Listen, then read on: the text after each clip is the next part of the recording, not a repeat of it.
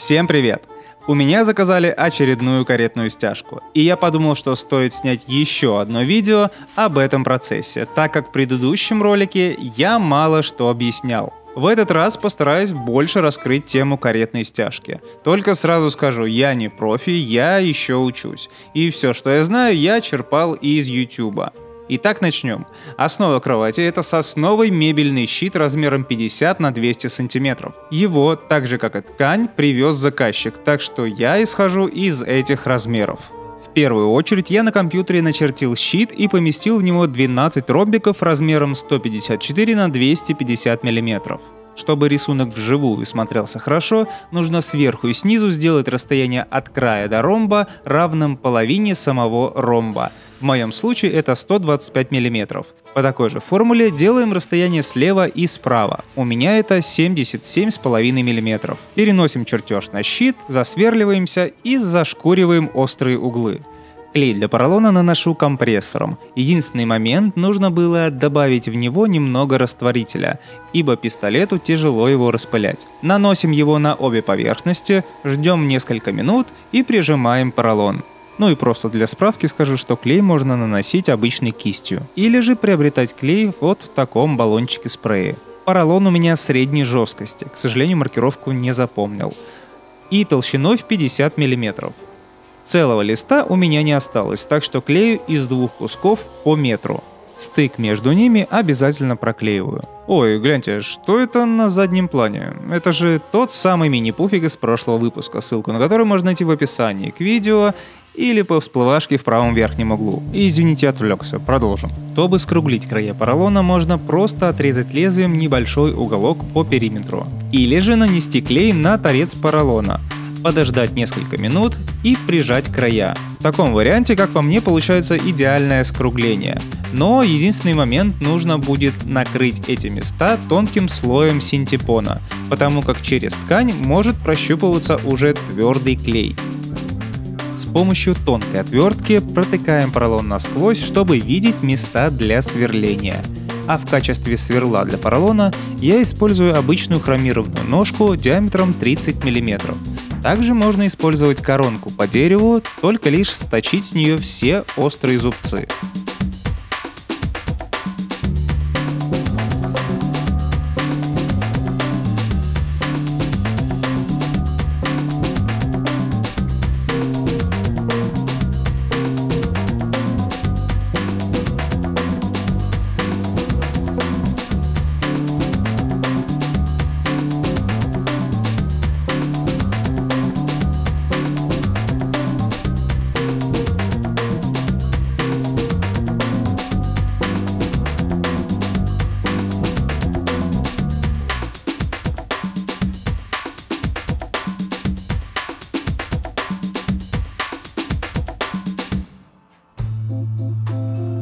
А пока я заготавливаю ровно 37 пуговиц, поговорим о разметке. На канале у этих ребят я узнал формулу, по которой считается размер ромба на ткани. Так вот, высота ромба на ткани равна высоте ромба на основе, то бишь щите, это у нас 250 мм, плюс толщина поролона без 1 см, это у нас 40 мм а ширина ромба равна ширине ромба на основе, это у нас 154 мм, плюс толщина поролона 50 мм. 1 см не отнимаем, потому как в длину ткань не тянется. Пуговицы готовы и забегая вперед скажу, что я, наверное, сказал заказчику неправильный размер и мне не хватило ткани в длину так что пришлось стыковать два куска ткани. Благо в ширину ткань метр сорок, а на высоту стяжки хватает как раз 70 сантиметров. Нужно только на месте стыка отрезать ткань по контуру ромба, отступив 2 сантиметра наружу.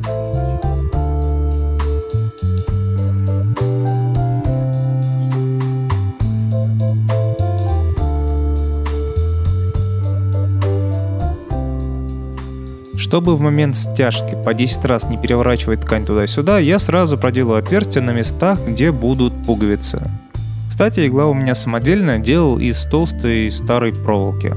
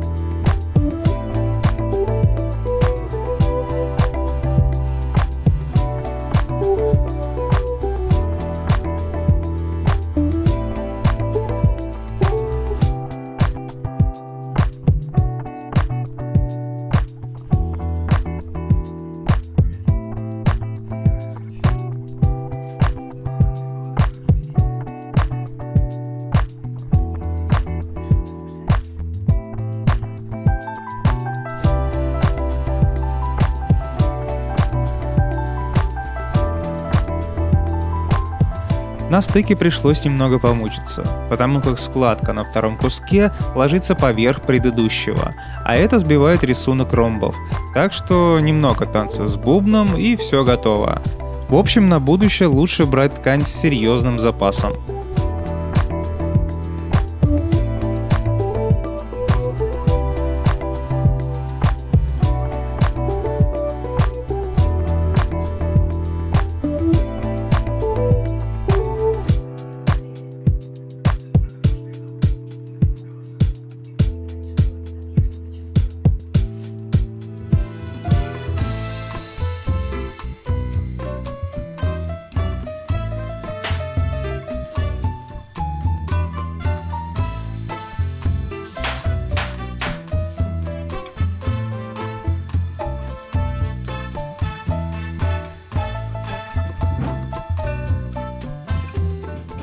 Это мягкое изголовье будет вешаться на стену над кроватью. Так что нам остается только прикрутить крепление и каретная стяжка готова. А на этом все. Если видео вам понравилось, то ставьте лайк, подписывайтесь на канал и увидимся в следующем ролике. Пока!